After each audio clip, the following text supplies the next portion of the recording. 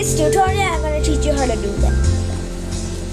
And then I would like to introduce you uh, an extension, the pen, where we can be able to this time pinpoint about the position the cat the cat sprite goes to when it's from random position. So let's get started.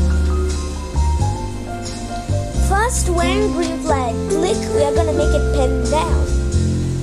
So let's see what happens when we when we go to a random position and then press and then press the pen down. So we can see that it goes and makes a kind of line. So but and then we are gonna press the erase all part. That is that is the part where we're gonna erase everything. So when green flag click erase all. Now that we have up and down, what's the point of having this block there? Although it might make more sense to keep it. Yes, it does. So then we are going to choose a forever loop. The wait, the wait point 25 second loop. And then now we are going to go to the go to X and uh, go to a separate X and Y. That block. If you don't want exactly that one, you to make it still work, you can choose these two. But for for now, we're gonna choose these. Okay, so let's get so let's get coding. So we can see over here that the that the x is at negative 124 and the y is 66. So if you want to move it in a rectangular shape, an exact rectangle, there's gonna be a little. There's gonna be some. That's I'm gonna teach you this. So now we're gonna choose it to be exactly 124. Why exactly? Let me explain. So if we move it like this and press it and press this, we can see that it has a decimal. We don't want to have a decimal, so we're gonna this time redo the the amount we have already taken. So when we click on it, it's exactly the number we want. Same goes for the Y position. Because as you can see, it also has a decimal. So we're gonna also choose a, a no decimal word for that. So now let's get started. So over here we are going to go to the operator part and then take two pick, pick random 1 to 10 blocks. But over here we don't want those. For now let's get so here's the real interesting part. Okay, so we can see that the current x is my it's negative 135. So we're gonna type in in one part negative 125 129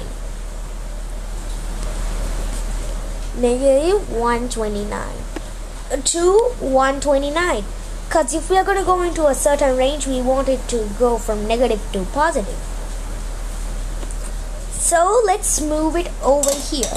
So let's move it to x position as the x is like that. So and then we're to go to the y and use the same procedure. This time we're to take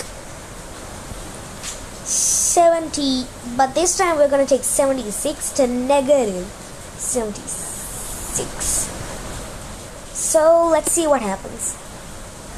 We can pinpoint where the cat sprite is going by looking at where it is so we can see that it goes that it goes within a certain range. You can see that it does not go out the outside of the borders. Outside of the certain borders. So now we want it to actually go faster just to make things go just to make things go faster. But as you can see that the shape inside it isn't going out of bounds. So let's restart our code okay. So let's wait for a moment until it gets a rectangular shape which is already now. So as you can see the cat's progress is making a rectangle but it's not going outside of where the rectangle is going. That's with that you can be able to use many, many you can be able to use you can use this code to do many to go to many different positions and also as I said I turned down a kind of request without without this block about how about how we can be able to use this block uh, about how we can use a longer code where it will take slightly more work.